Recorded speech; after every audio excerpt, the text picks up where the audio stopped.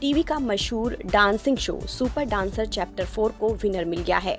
धमाकेदार grand finale की इस जंग में शो की कंटेस्टेंट फ्लोरीना गोगोई ने ट्रॉफी को अपने नाम कर लिया है।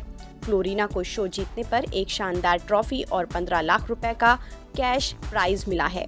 वहीं फ्लोरीना के सुपर गुरु तुषार शेट्टी को उनकी मेहनत और शानदार कोरियोग्राफी के लिए पाँच लाख रुपए का इनाम मिला है। असम की क्यूट लिटिल गर्ल फ्लोरिना को फिनाले में सभी टॉप फाइव कंटेस्टेंट ने कड़ी टक्कर दी। लेकिन फ्लोरिना ने सबको पीछे छोड़ते हुए शो के विनर का खिताब अपने नाम कर लिया।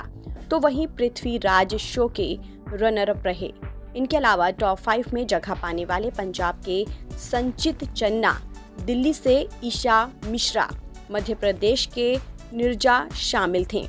बता दें कि सभी फाइनलिस्ट को एक लाख रुपए का प्राइज दिया गया है। फ्लोरिना सुपर डांसर फोर की शुरुआत से शो की सबसे फेवरेट और पॉपुलर कंटेस्टेंट रही हैं। सुपर डांसर फोर शो को हमेशा की तरह शिल्पा शेट्टी, गीता कपूर और अनुराग बसु ने जज किया। शो के जजेस भी फ्लोरिना गोगोई की जीत से काफ़ी खुश नज़र आए। फिनाले में मशहूर रैपर बादशाह और कोरियोग्राफर राघव जूयाल भी पहुँचे थे, जो बच्चों को देखकर काफ़ी इम्प्रेस हुए। दोनों ने शिल्पा सेठी के साथ डांस भी किया, जो लोगों को काफ़ी पसंद आया। शो के दौरान मनीष पोल अपने नए dance reality show India's best dancer को प्रोमोट करने सुपर डांसर चैप्टर फोर के मंच पर पहुँचे थे।